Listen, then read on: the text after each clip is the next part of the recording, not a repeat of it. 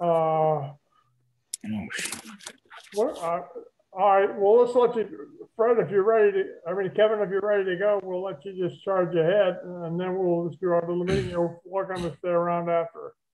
All righty. Well, uh, I thank y'all for coming in here today and thank you, Roger, and everybody for inviting me to give a chance to talk to y'all about how I use N1MM. Uh, a little bit about me to start with. Uh, first off, before I start, I, I've got a little bit of drainage. I've got some allergies and it's fall season back here. So uh, just about every presentation I give, I've got some drainage. So I may have to, you'll hear me coughing a bit and muting, but uh, I, I got to live with that uh, as we go through. A Little about me, I've been licensed since 1975, but I didn't get into contesting until the early 2000s. Uh, I've done fairly well, started moving up in the ranks and uh, started getting some regional wins. And uh, then I was invited to the NQ4I Superstation, which is where I really began to learn about contesting. So I've got some experience in both uh, little pistol stations like me here with a tri-bander at 50 feet and some wires, and then uh, a little bit more uh, aluminum up in the air. And uh, I really hadn't been using spots at all. I was completely unassisted until getting over to NQ4I, and there they introduced me to what spots uh, could do. They used a program called WinTest, and it was at that point that I began exploring. And N1MM is a great program, and there's a ton of things in there to help with spots. And as I began to learn more and more about it, uh, some of the old timers started picking up and using some of the techniques that I'm going to talk to you about over at the superstation. And uh, I've begun moving up even a little bit higher, give us some several uh, top 10 and top five wins in uh, the single operator, low power assisted categories. So I've got a little bit of experience using this and I hope I can pass some of the information on to you. And as we talk, if you guys have any questions at all, don't hesitate to speak up. Uh, once I start sharing my screen, I lose the ability to see the chat room. So uh, uh, if, if there's a chat comes in and somebody sees it, please go ahead and let me know. Uh, uh, but you got to shout it out with uh, a question if you have one. So let me go ahead and share my screen and we'll start in with this. let's see, screen, share one. And is everybody seeing my screen here? Yes. Yeah. Great. Yes. Let's go ahead and move this up then, if it'll start. Proving rate using N1MM spot capabilities. If you want to get hold of me after this, you can look up my email on qrz.com or Roger's got it and give a holler. I'll be happy to answer anything I can. The thing about contesting is rate. And it's kind of odd to start out a presentation with a, something from another guy's presentation, but Gary W9XT said, watch the rate meter. When it's below what it should be, basically do something else. And that's the whole focus of what drove me into figuring out how to use the N1MM spots is rate. It's amazing how you can get some good rates using these spots. Before we launch into this, uh, I still get people asking, and I see it on the reflectors uh, uh, fairly often, that using spots makes you assisted. That's not true you can do your own self-spotting and benefit from those generated spots as well. And we'll talk about a couple ways N1MM generates those spots. Spots alone aren't something that's going to help you. You have to be able to move on to a, a, a pile up, which spots, a lot of times there are pile ups, and then evaluate real quickly is my station capable of busting through this or am I just wasting my time here? And one of the things that happens is spots, people think that spots are for mostly chasing mults. I kind of turn that on its head. For me now, chasing spots is more of a rate issue and the mults tend to come. But we'll talk about some strategies that later. But if you get yourself bogged down saying, I got to get this mult, I got to get this mult, using N1MM spots is actually going to slow you up more than uh, uh, just trying to run does. And these techniques work well if you're a SO2R op or if you have dual watch capability.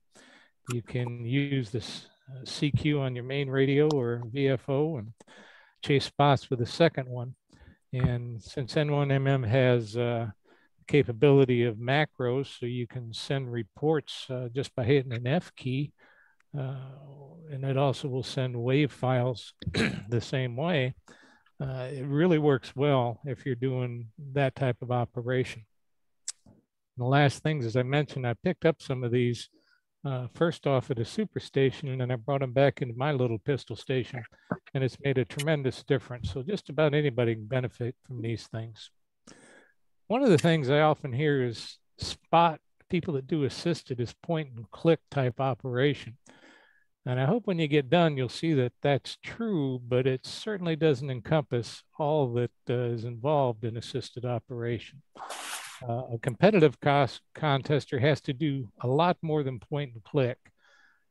You also got to verify the spot's accurate. You got to listen to what's sent. Uh, you're going to have to run stations to be competitive. Doesn't mean you have to, but uh, running stations is definitely the way to get up into the top. And it really helps to turn that VFO, even though you're doing assisted too. Just about every time I tune a VFO, I'll find a station uh, that hasn't been spotted yet, and that's worthwhile. Since not everybody may be Uh, up to speed of what all the windows are in N1MM, we'll cover some of these things. This is what we call the N1MM info window, or talk about the rate meter. And this stuff on the left right here where the green columns are, that tells you, it says that the thing there, Qs are 10. Let me see if I can get a pointer here. Can you see that little dot? Yes. Okay. That little thing right here talks about a 10 minute, how many cues you get in a 10 minute period, what your rate is in a 100 minute period and a 60 minute period, et cetera. And if you look at this and you think I'm a little, little power, low power, little pistol station, that 99 is a pretty good rate for my type of station right there. You might think everything's going well and good. But if you look over here at this blue part, you can see the trend line is going down. So even though it says 99, I'm losing cues because I'm not going at the same rate that I was before. And that time was taken at uh, 50, 0050 in the contest. So when I started looking at that blue rate line over there, this was actually in the uh, an IA, IARU contest. I said, I'm not making that rate. I got to do something a little bit different. So five minutes later, 0055, I've got a green line 10 minute rate of 190 an hour. And if you look at that blue line over there, this was five minutes later, what I actually did is shifted from a run to a search and pounce. Now, a lot of old timers and people who contest think that running is the only way to go, but not all the time using some of these tips, I'm getting some pretty decent rates out of it by jumping from spot to spot. Normally, so that's that's a 190 Qs in a 10 minute period. If you kept the pace up that you were the last the last 10 Qs were entered at 190 an hour rate. That's what that's telling you. Gotcha. Right. And typically, what I get uh, on a domestic contest, again, I'm a little pistol station, I can get sustained rates of 80 to 120 for an hour or two just doing search and pounce operation. Not all the time, but it's not unusual. And that's at the fairly low part of the sunspot cycle here. So looking at this this screen right here, you're you were running at 68 Qs an hour. Right then, yes. But I'll go okay. back and what you see here is the rate was 56 an hour, you know, 60 and 56. And five minutes mm. later, I've got it up to, oops, where to go? Five minutes later, I've got it up a little bit higher. Oh, I'm going backwards. Is this CW or sideband? Uh, 70 35 up here. oh, okay. Yeah, yep. So oh, sorry, I missed that. Say that'd be yeah. CW for sure. Yeah. There's Good a lot for of information you. in Yeah. Yeah. All right. So sometimes search and pounce will do better than a running station. And one of the things that uh, I, always try to push and tell people is if what you're doing isn't given the rate that you want, do something different. And that's what Gary W9XT opened up at the beginning. If your running isn't good enough, shift to search and pounce. If your search and pounce isn't good enough, shift to run. Try something different. And a lot of people think, well, running I got to keep running, I got to keep running. And that's not necessarily true. Uh, I was going to save this for a little bit later, but at the NQ4I Superstation, I was the 40 meter mult op. And Jim, VE7ZO, uh, he actually won the 2006 uh, World WRTC Championship in Brazil. He was my 40 meter run up and taught my, my contest mentor. And he was running on the 40 meter station, and I was the mult op and doing some of the techniques that I'm going to talk about here, jumping from spot to spot. I was out out rating him by about two to three to one. And he actually started shifting. So we were both doing search and pounce operations rather than running with a superstation with stacked uh, 40 meter monobanders at 160 and I think 90 feet running 1500 watts. He shifted to search and pounce. So these things can help you and give you a tremendous amount of input from it. And that was what I'm trying to convince you for that. This is my desktop, or at least part of it. It gets pretty complicated for those you aren't uh, strong N1MM users, this is the band map part of uh, N1MM. We'll break these down as we go through. This is what I call the Mult and Q window. It shows you spots that are either just regular cues or mults, and a bunch of other information in there too. Do you look at that? Do you mind uh, questions or? No, go ahead. Okay. Do you do you look at the the available mults and cues window when you just to help make your decision to move from maybe a, a run rate that's starting to decline? Do you look to see available cues and to to, or do you just go and search and pounce to try to bring it up? I look at it, and we'll talk about that in a minute or two. Okay. Uh, all right. The spectrum display is the band scope, which everybody knows. So let's tear into these individual pieces. We'll start out with a band map, and then we'll get to that multi Q window in a minute.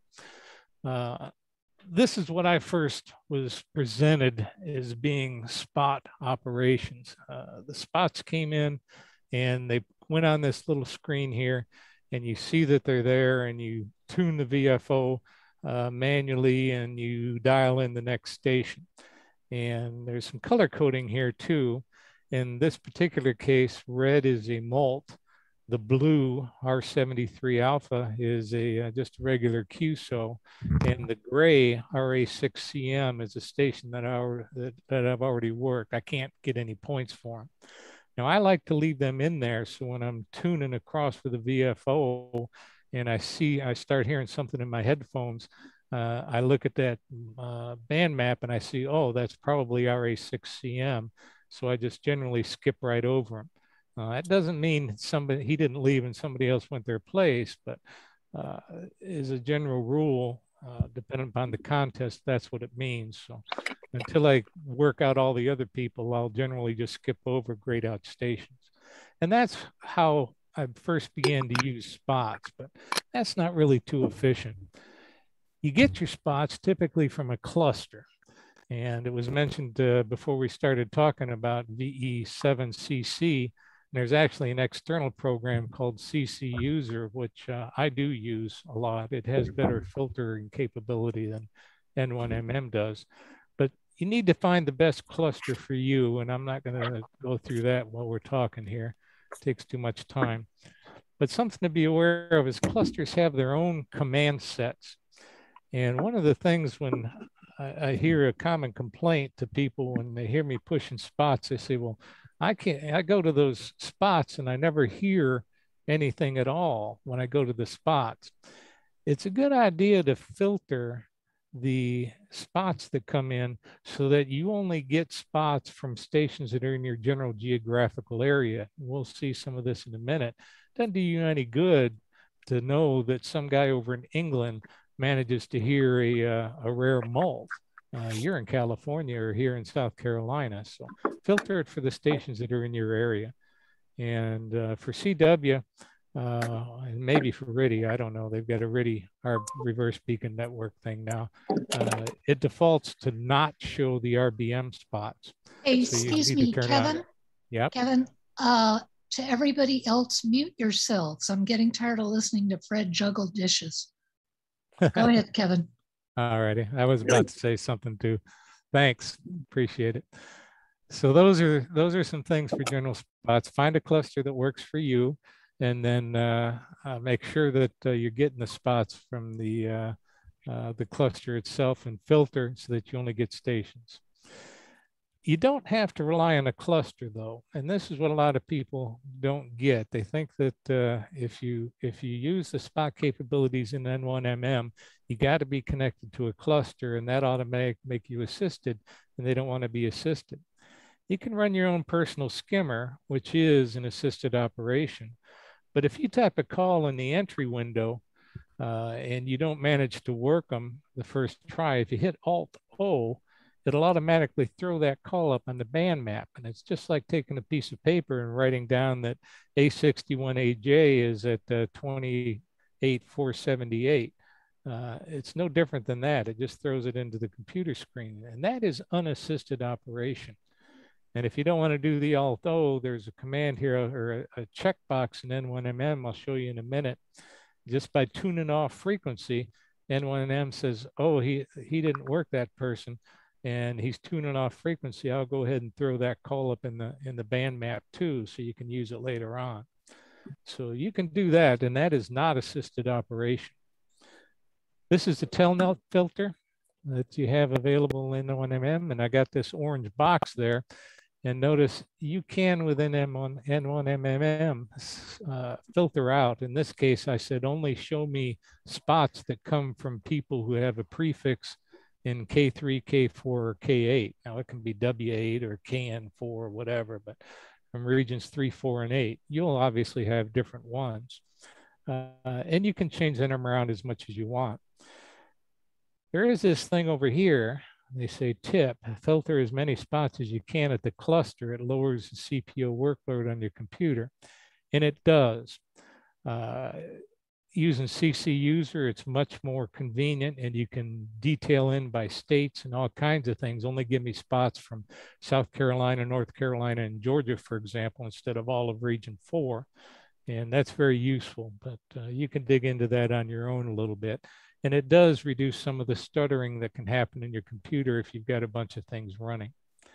Now, a couple other things on here, I mentioned about some of the stuff that it does. I like to show those non-workable spots. So I check that checkbox at the top, show non-workable spots.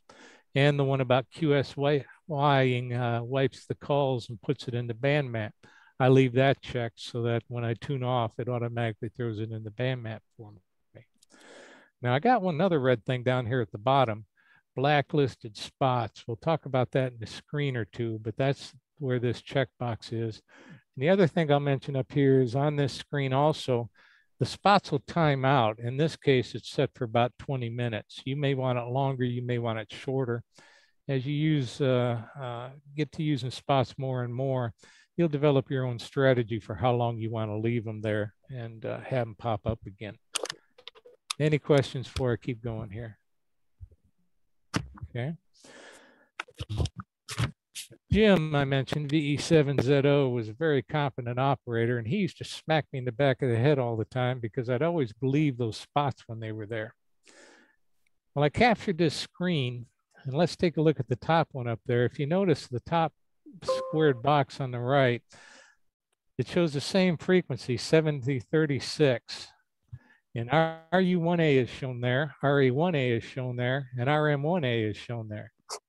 Will the real spot station come up? If you just click on one, you're going to think there's another one there. You might get the wrong actual station listed. Down here, I always get excited when I see the chance green is a double multiple.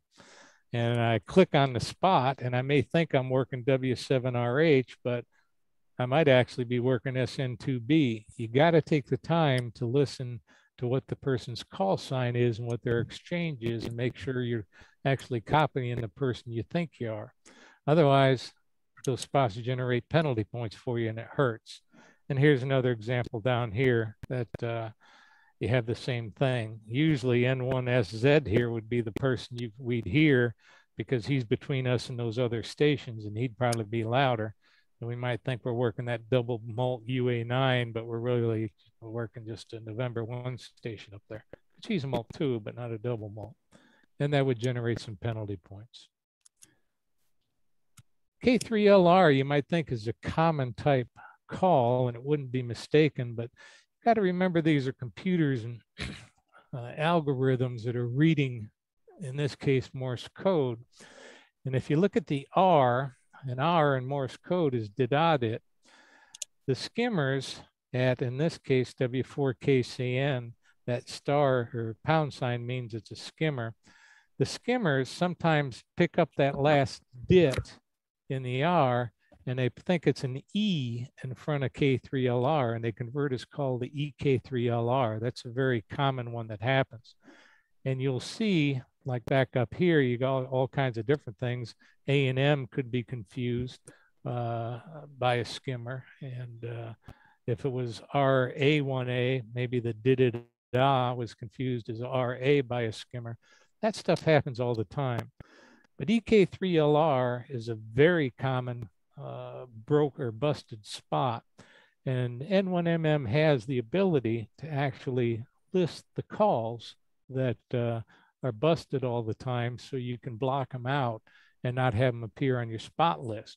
Because when you have to, you've been up for 30 hours working a long contest, you get a little tired, you might not realize that instead of Armenia, you're working uh, K3LR up there in New England and end up getting that penalty point I talked about. In this particular contest, uh, D41CV kept getting busted a lot, DX1CV. Uh, PJ2T was listed all the time as GJ2T. And after 20, 30 hours of correcting bad spots or trying to ignore them, I finally just put them, uh, took a slow period and put them in this bad pocket uh, packet spot call list so they didn't keep popping up all the time. The problem with that is there might actually be a GJ2T and he wouldn't be spotted. So you want to be a little careful with this. And P5NY, no, I don't think uh, North Korea was on there. That's probably Papa Papa 5NY and was a busted spot. If you decide to use this particular thing, you got to remember the next contest, you might want to take these out in case GJ2T really is in there. And uh, that way you don't keep carrying them over from time to time.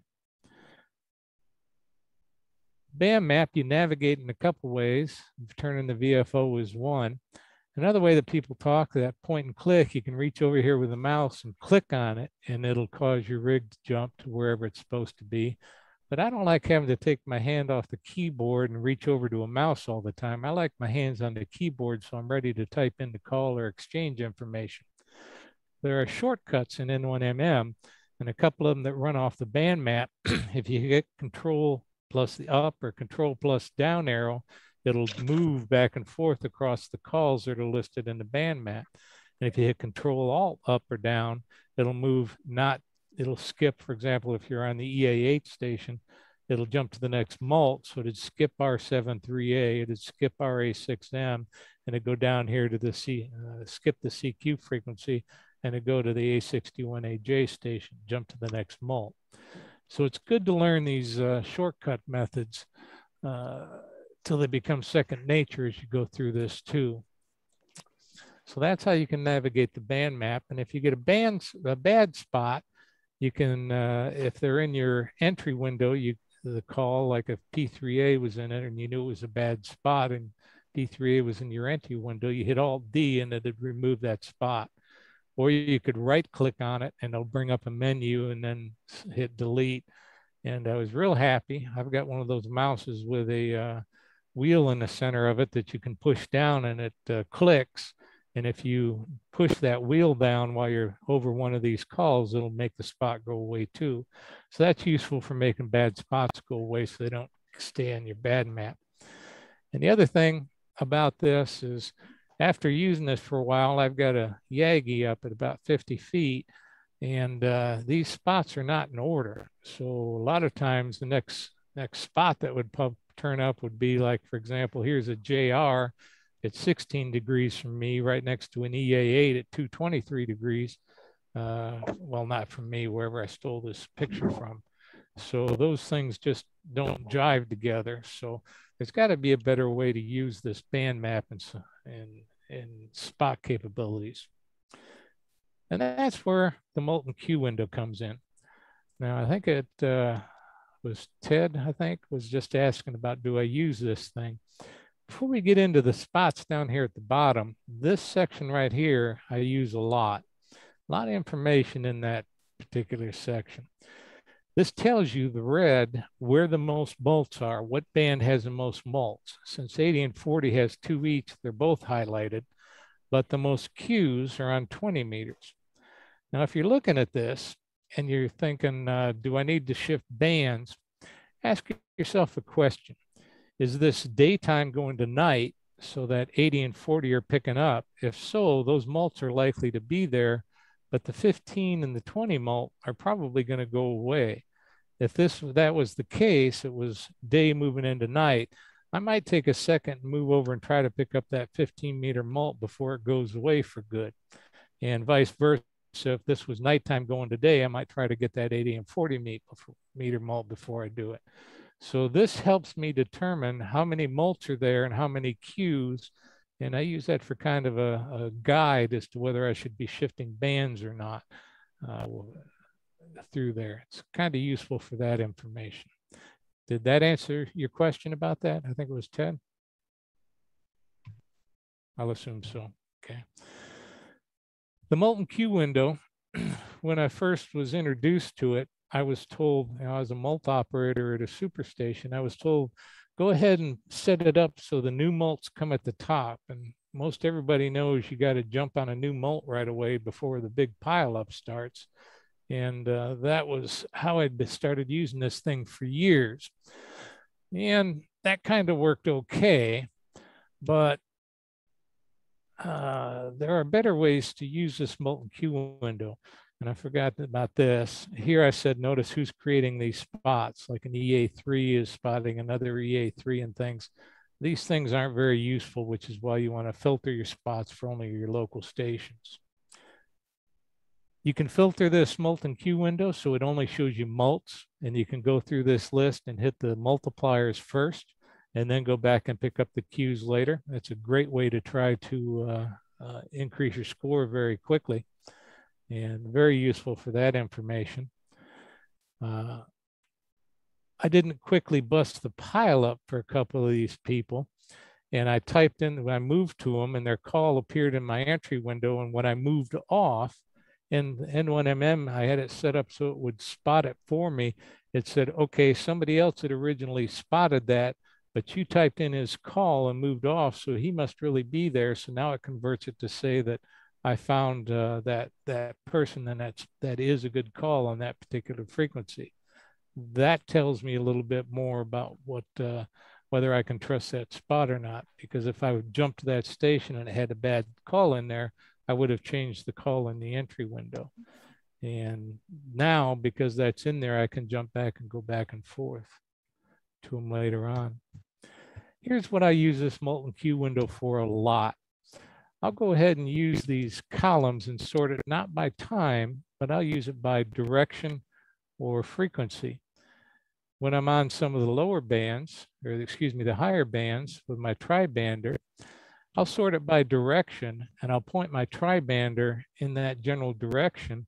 And then I'll go down and I'll work the stations that are about 280 degrees most of you California people in this case. And then when I start getting down here to these guys, uh, notice it's up to about 294. I might bump the beam a few more degrees and I'll start working these guys here. And then as I go down the list, I'll bump it a little bit more each time. And that's kind of useful for me to do that uh, by direction. Now, if this is a omnidirectional antenna, like I've got an inverted V out there or an elevated vertical, I'll just go ahead and sort it by frequency and move up or down the list from that way. Uh, it's a good way to do it. The other thing about a mult and Q window is just like the band map, they've got some shortcut keys, Alt A and Shift Alt A. It jumps from the uh, spots that are shown in the mult and Q window, and it makes it very useful to go through the list that way, up and down. And if you have the filter set to mults only, using uh, Alt A and Shift Alt A, you'll jump from mult to mult to mult without having to reach over and click on the individual things. Again, increases your score quite, quite quickly.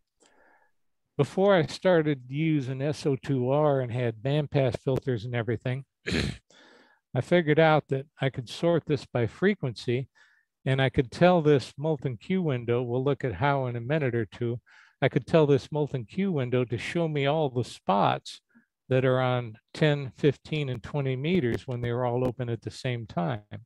And then I could go ahead, tell it show me 10, 15, and 20 meters. And this doesn't show it that way, but I'd have those, those set up that way. And I could also do it by direction have direction first and then frequency, and I could jump back and forth using the tri-bander and just jump from spot to spot no matter what band they were on just by using that Alt A or Shift Alt A method back and forth. And that worked really well too. Really made an improvement in my scores as I went on.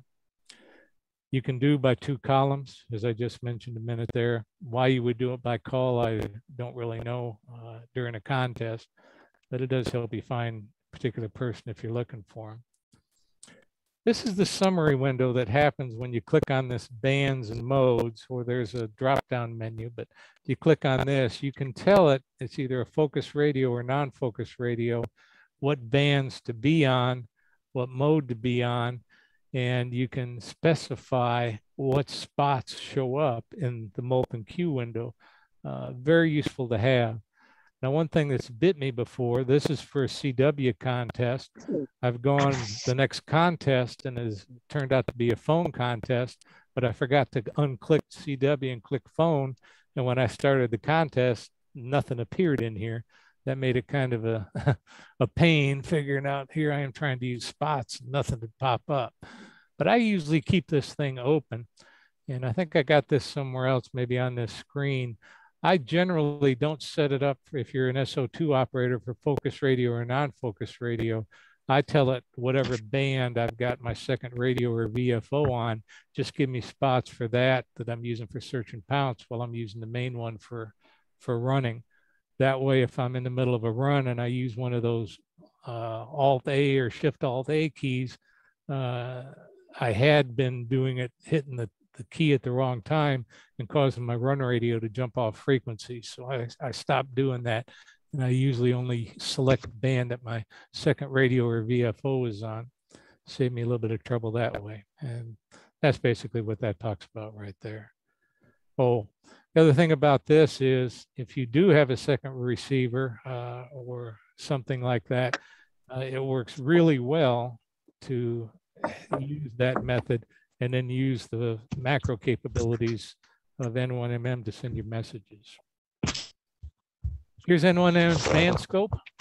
This is nice and clear. Most people know if you got one, how to use these things. But in a contest, it looks a little bit different. Uh, a lot of people say, well, I prefer to have mine uh, vertical so that the calls and uh, things run from right to left instead of up and down and it's less complicated. But as I started using this thing, I don't care how complicated this is at all. And here's the reason why. They got this funny little blue line right here in N1MM, and that represents a receive threshold for N1MM. And if you use your wheel, you can make that blue line go up and down and only recognize have N1MM recognize signals that are stronger and ignore signals that are weaker than wherever that threshold of that blue line is. And if it's stronger, you can tell it to go ahead and set up this little red dot right here. And these red dots represent stations that you have not worked before. Notice here's a signal that doesn't have a red dot. It's a station that I've worked before. Same with this VE5MX no red dot, I've worked him before, but I haven't worked these guys over here. Although this is so complicated, N1MM has the capability of jumping from red hmm. dot to red dot to red dot. And I don't really need to know what the calls are up here because the calls will appear in the window, entry window of N1MM as the rig jumps to those red dots. So that's kind of a very useful feature too, to go through uh, using the automated capabilities. Now, when the band scope's open, I don't have to tune the VFO, although I, I do that uh, uh, to find the stations that aren't spotted. I can use shift up and down arrows and jump from spot to spot to get the unworked signals. One thing that started biting me when I did this is if you notice these colors up here in the band scope of N1MM, they have dark blue and they have a light blue. And that represents the dark blue is the active signal on that band, and the light blue is what it used to be before. It just hasn't decayed off yet. There's a decay constant that can be set for it. and if you have that decay constant set quick, the signal decays right away and these red dots disappear even though you haven't worked the station. So I set that decay period be long so that those red dots stay there longer. And when I jump from station to station, I hit more of the stations that I haven't worked before. Makes it very useful. And for example, here, if you've worked somebody a grade RA6CM, it just skips right over them. So you don't work them anymore. Another useful feature in the band map is Alt-M. A lot of times I'll be tuning across the bands, uh, particularly on 80 meters at night. And uh, there's a lot of people just rag chewing, not in the contest. And they'll appear as a signal on the band map, or as I'm tuning my VFO, I'll start to hear them in, in my headphones. And if you hit Alt-M, even though you don't know what the guy's call sign is, it'll just mark that the, the frequency is busy. And that way, you know, next time you come through on a, on a pass that you don't have to stop at that particular frequency and you can skip right over. them. So we've talked about these sections of it. We've uh, talked a little bit about uh, spots being bad.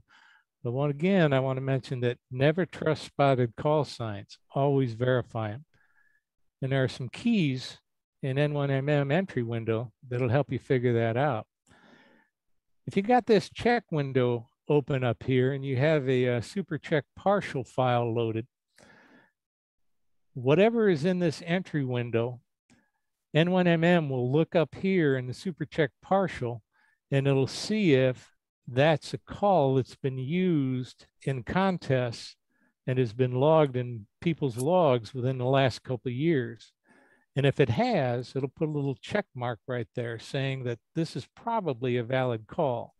Doesn't mean it is, but it means it's probably a valid call, giving you a little bit more uh, confidence that uh, that is a good spot. So I've started looking at that a lot as well. But here's an example of a spot, W9ZN, which this is entry window for radio 2 it looked at W9ZN and it didn't find it in the super check partial. So it put a question mark there saying, this, this may not be a good spot for you. And if I looked up there, this part of the check log window is says, I've worked W9NZ before. Uh, so probably W9ZN is uh, maybe not a good spot. W9NZ might be a good spot. And this section of the check log is what the actual super check partial shows is things it thinks might be possible. I apologize for this being fuzzy, but I kind of blow it up.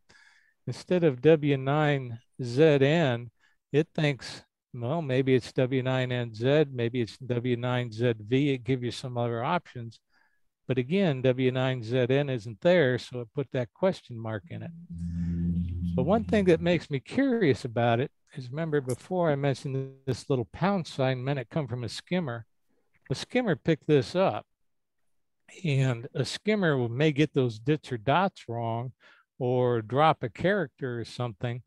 Uh, but it's thinking what it heard was W9ZN.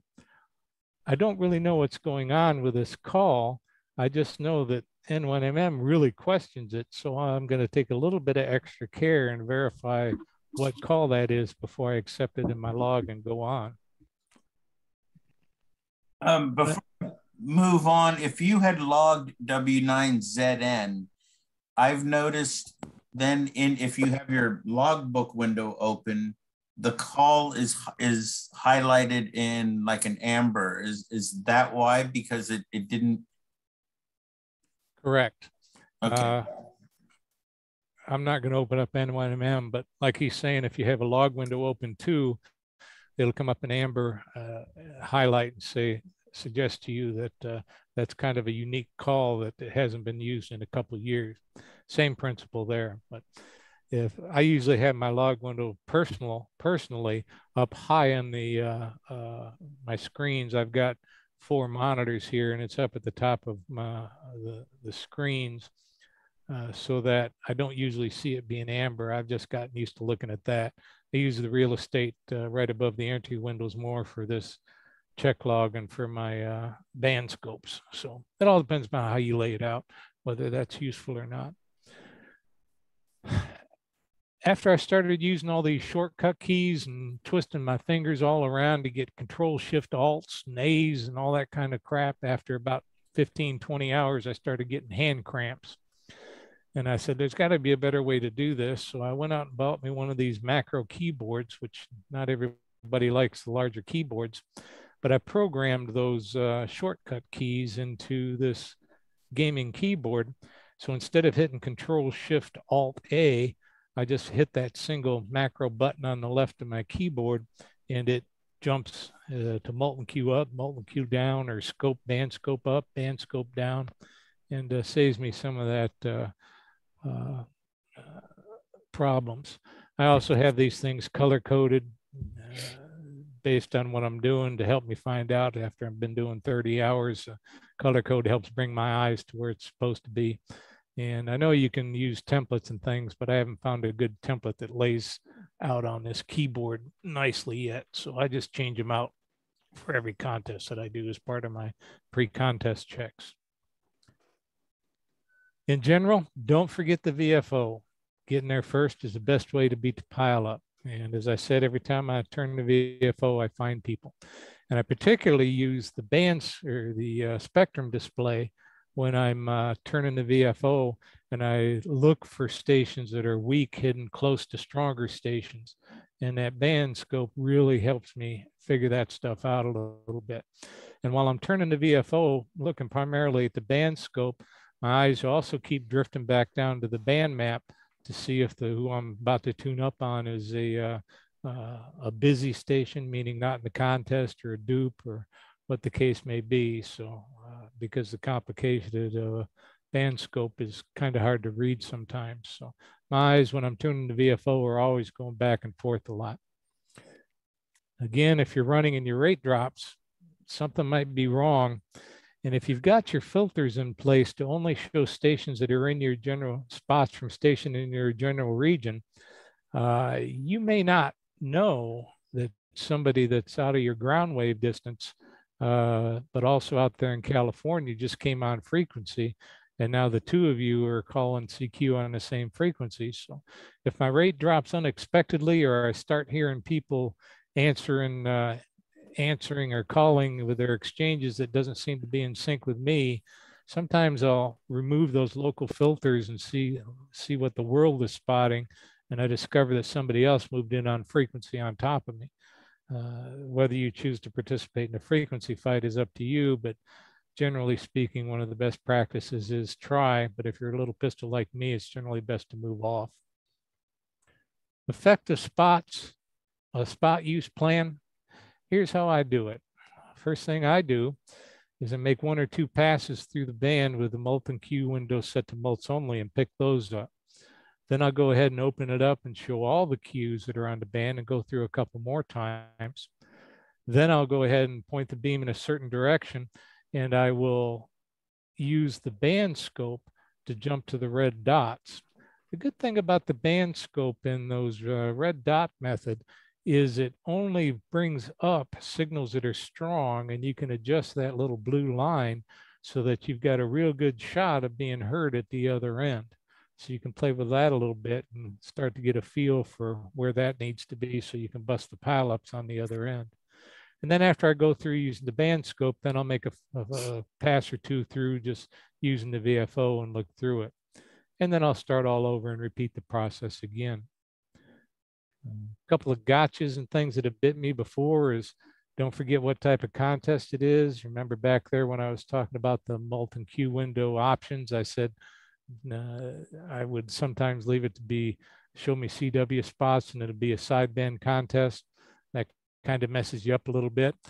Uh, another thing about these spots that bit me a few times is when people put in spots, uh, it also puts in the mode in most cases. And when you click on a spot, it can, N1MM can be set up so that your rig will change to the mode that the spot is on.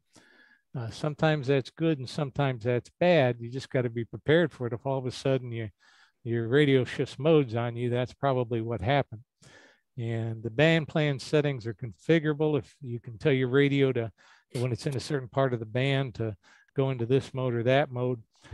I generally prefer it to be contest mode or radio mode.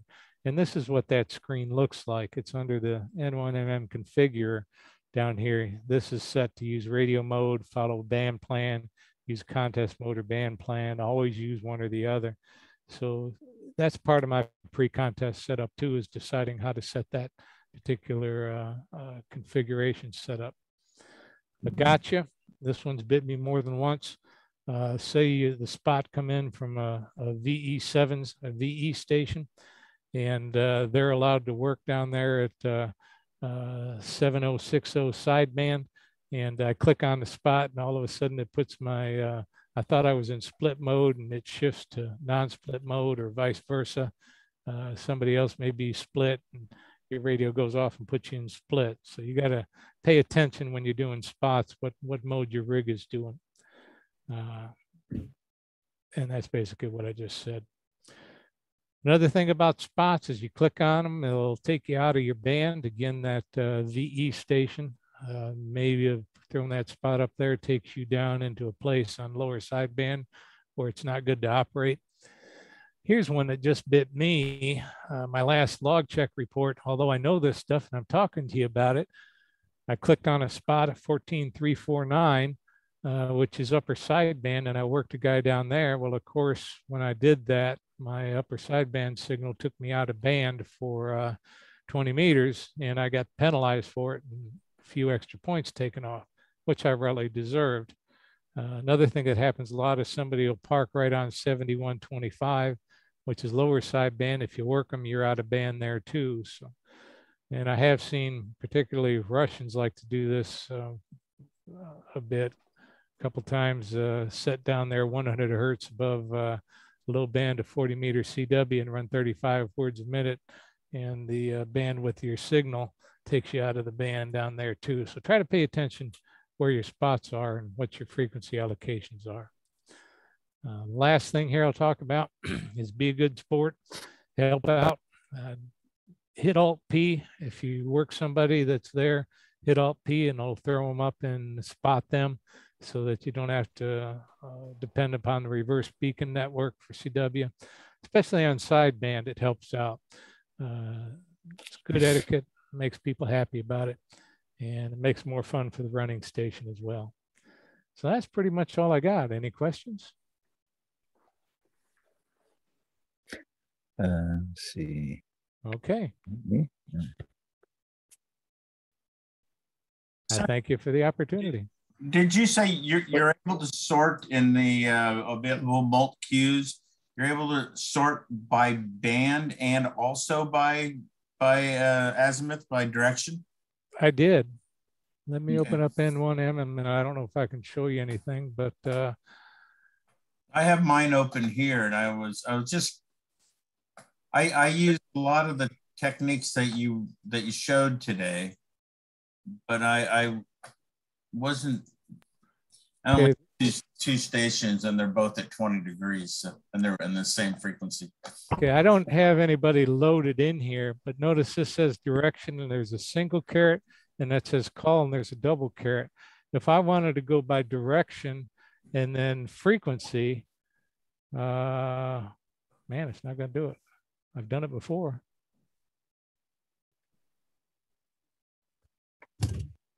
Yeah, well, I don't, you don't have any. Oh, no spots. I'll have to figure that one out. Yeah. yeah. there's no there's no spots in there. So and I only have two okay. right now, and they're um, the same azimuth, the same band. Yeah, I'll figure that out and get it back to you. Yeah, I I, I, I just one sec, Doug. I just got the band, band map up and running. Mm-hmm. And uh, I've used it in a couple of CWTs, and and it's really the the red dots once you get your noise threshold or your signal threshold set correctly um, it's it's really nice. And i wasn't aware of the alt n um, in the band map too um, or the uh, alt a in the mults and cues. So you've given i learned a few uh, tricks to uh, try out and another one not dealing with spots that uh, a lot of people have been very happy to learn is control U. If you're in a uh, contest that uh, has sequential serial numbers uh, and you type in a sequential serial number and then you don't get through, you got to retype it again to get the next number. If you got a number in there and you hit control U, it increments it by one. So you don't have to retype oh. the number over and over. Oh, nice. You know, I, I just I just did the WAE uh, and they have the the QTCs. And yep. boy, that was that was a lot of fun. That how and the integration with N1MM is just unbelievable. It's just a couple of keystrokes and it sends out, you know, zero to 10, whatever QTCs you want to send or have available. Yeah. I actually used Excel and I created a uh, uh, shortcut cheat sheet, which I have posted up next to the shack. So if I forget some of these, I can just glance up there instead of having to try to look through the manual while I'm doing a contest. That helps too. Yeah, I know a lot. I I have a lot of uh, like templates or little post-it notes all over the key, all around the keyboard, and so. Anyways, thank you very much, and I really appreciate it. Go ahead, Doug. Yeah, my uh, mine was ba- questions based on that spectrum map. Um, you're, you, I, I quickly saw you're using a um, SDR play. Is uh, was that difficult to set up, or I I have not done done that. I have an uh, an RSP, uh, but I I use it just for casual listening and looking for the band conditions and things like that. I have two TS 590s and neither one of them have a band scope built in. So I was mm-hmm. forced to use external uh, devices. And once I used the jumper method in the TS590 to get a uh, IF signal out, it's just a matter of plugging it into the SDR play. Now, once you do that, there are step-by-step -step instructions in the N1MM user manual, which work perfectly to set it up. He actually recommends use the AirSpy HF Plus series over the SDR, but I don't see a lot of difference between the two of them. I've got an H, uh, HF Discovery Plus for one and the SDR uh, RSP2 for the other, and it works real well. Uh, it's just a matter of setting up the uh, uh, options within the drivers for SDR as to how much bandwidth it has and how much CPU processor time that it uses.